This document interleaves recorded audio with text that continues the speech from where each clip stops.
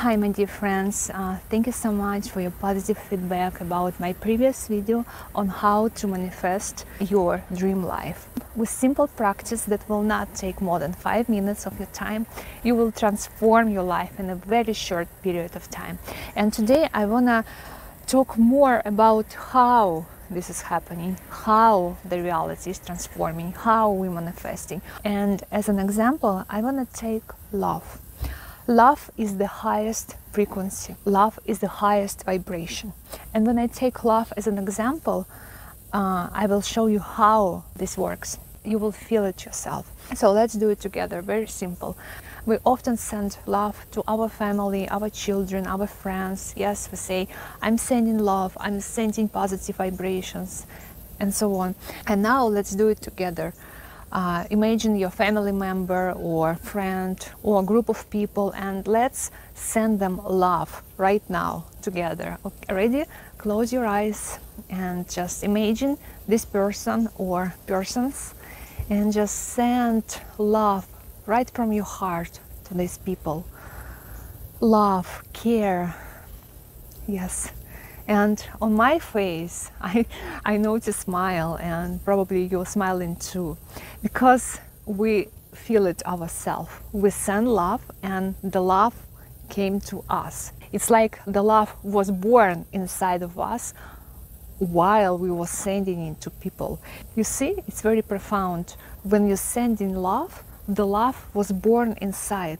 And as love itself is the highest angelic vibration, it doesn't have time. So it happened simultaneously with no time, with no limits. It just came back to us.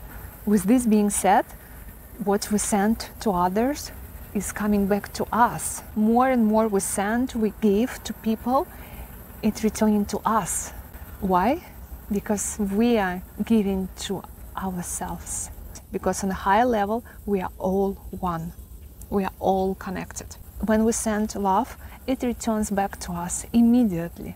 Immediately. What happens when we send something not on a high frequency, on a low frequency? Yes, it will get back to us. Not simultaneously because it's not that high frequency, but eventually it will. It may be transformed somehow, but it will be back to us. It will affect us. So basically, we are giving to ourselves through others.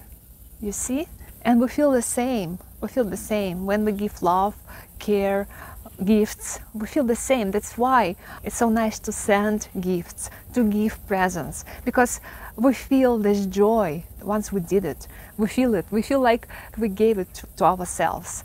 And that's why we want to share. We want to share with our family members, with our partners, with our kids. We don't want to go on vacation alone. We want to take somebody with you to share this joy, to share these emotions, this experience with others. Because through others, we're giving to ourselves.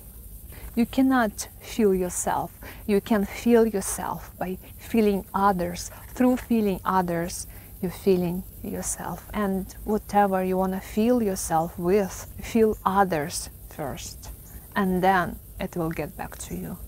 That's how simple it is. And we felt it. We felt it when we closed our eyes and sent love. We instantly felt it to ourselves. The love returned to ourselves. Why? Because I am you and you are me and we are all one. We are all connected. Thank you. Namaste.